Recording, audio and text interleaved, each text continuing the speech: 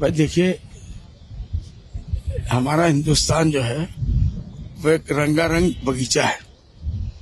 एक बगीचे में चाहे कितना ही खूबसूरत हो, एक ही फूल हो, आपको देख के जी भर जाएगा। ज़्यादा देर नहीं देख सकते आप। हमारे हिंदुस्तान की तहजीब यही है, हज़ारों रंग, हज़ारों मज़हब के लोग रहते हैं, हज़ारों कल्चर होता है। हर गली में रोज़ाना कोई ना कोई पूजा, कोई इबादत होती रहती है। ये हमारी खूबसूरती है। और ये सब कुछ है, वो एक ही ना के एक औरत औरत मर्द सबको एक ही बराबर कर दे। तो ऊपर वाले ने चाहता तो वैसे ही बना देता। दुनिया में मर्द बनाते नहीं थे, सारी औरतें बन जाती। या औरत नहीं बनाता तो सारे मर्द बन जाते।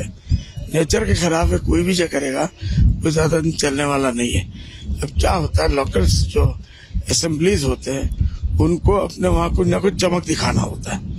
जब वो मिनिस्ट्री फेलियर हो जाती है चलते वो किसी में कामयाब नहीं होते तो कोई ऐसा चमक छोड़ो। जैसे हमारे आसाम के चीफ मिनिस्टर साहब वो भी बीच बीच में यही करते हैं हेमंत विश्व शर्मा साहब।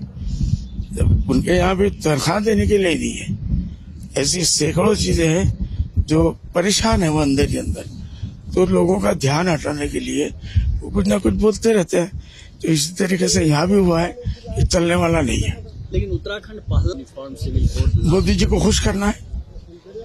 कुछ दिन तो चीफ मिनिस्टर है तो मोदी जी को खुश करना है। ले लेंगे और क्या है? लेकिन ये चलने वाला नहीं नेचर के खिलाफ। क्या होना चाहिए? नहीं होना चाहिए। इस बिल को वैसे ही कचरे के डिब्बे में डाल देना चाहिए।